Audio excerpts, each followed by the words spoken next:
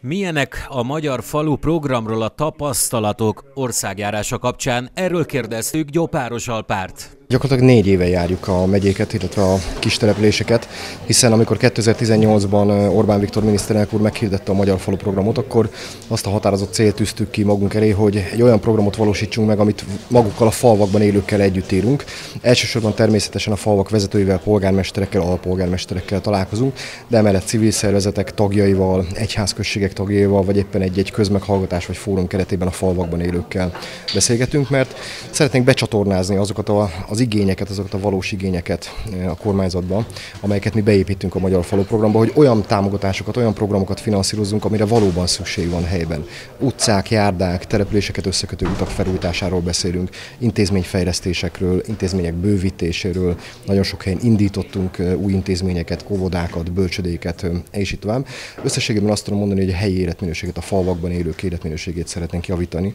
amivel az a célunk, hogy belátható időn belül elérjük azt az alapszolgáltatást, szolgáltatások szintjén legalábbis a városokban élők életminőségét, hogy jó legyen falvakban élni.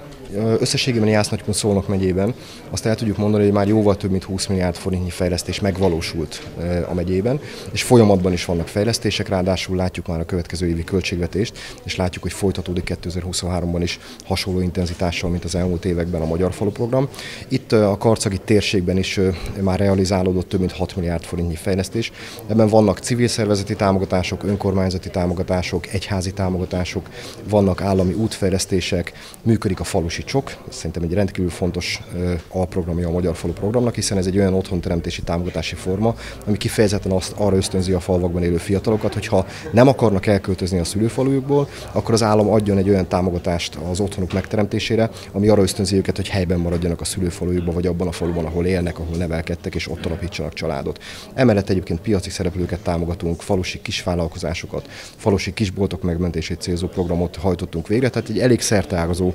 program programot hajtunk végre a Magyar Falu program keretében, ami mind-mind azt célozza, hogy jó legyen a falvakban élni.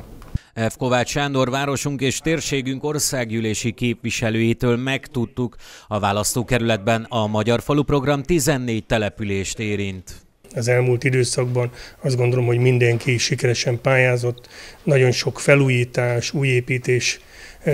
valósult meg, és én azt gondolom, hogy bízhatunk benne, hogy bármilyen világgazdasági nehézség van az orosz-ukrán háború miatt, ez a Magyar Falu program folytatódik, hiszen nagyon sikeres, és a vidék, a kistelepülések felzárkózása miatt mindenképpen fontos az, hogy legyen egy ilyen típusú programja is a kormánynak. Nagyon sok a turizmusban, oktatásban, bölcsödék, óvodák, egészségügyi intézmények újultak meg, településközpontok. Én azt gondolom, hogy nem volt olyan rész egy kis településnek, ahova nem tudott volna a Magyar Falu programra fájázni, és nem történt volna előrelépés az elmúlt időszakban.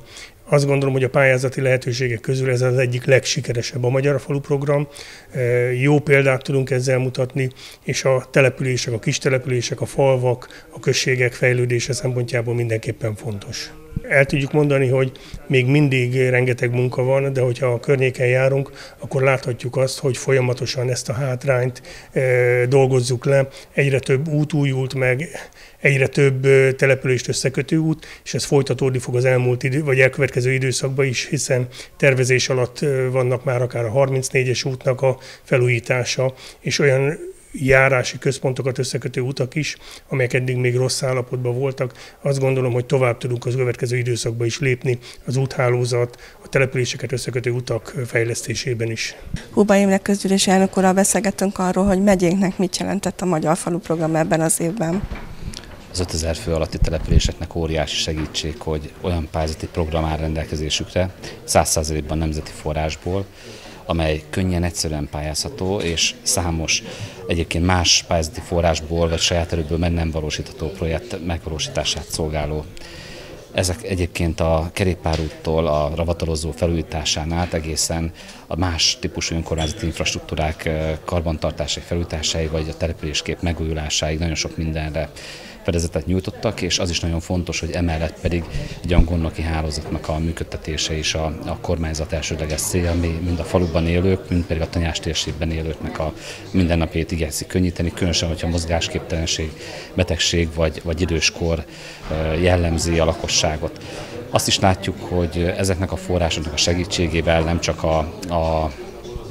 azok a projektelemek újultak meg egyes településeken, amik már régi, régi és, és hánytos sorsú adósságai voltak a településeknek, hanem olyan projektek is megvalósultak, amik innovatívak, amik előretörőek, és, és valóban akár fiatalok megtartását, a fiatalok vidéken tartását is érdemben szolgálták. Én nagyon üdvözlöm, hogy ez a program folytatódik, és azt is, hogy ma államtitkár úr segítségével az önkormányzatok vezetői olyan betekintést nyerhetnek a térség életét és a, a település életét meghatározó fejlesztésekre, amely jövőben mutató és az összes többi fejlesztési elképzeléshez össze tudja hangolni a települések jelenlegi tervezési és megvalósítási ciklusait. Még nem zárult le az előző időszak, de már kezdődik a következő, tehát ebből is látszik, hogy nagyon fontos nem csak a kormánynak, hanem minden döntéshozónak, hogy a, a vidéki térségben élő embereknek a, az életminőségén javítson, és az életminőség javítására szükséges infrastruktúrális fejlesztéseket előbbre hozza. Azt gondolom, hogy a mai megbeszélésen itt az előzetesen látó polgármester aki jegyzők vannak itt, tehát ők is elmondják a tapasztalataikat, esetleg a kéréseiket, hogy, hogy mit lehetne esetleg finomítani, vagy kell -e egyáltalán finomítani ezen a pályázati rendszeren. Így van, hogy egy program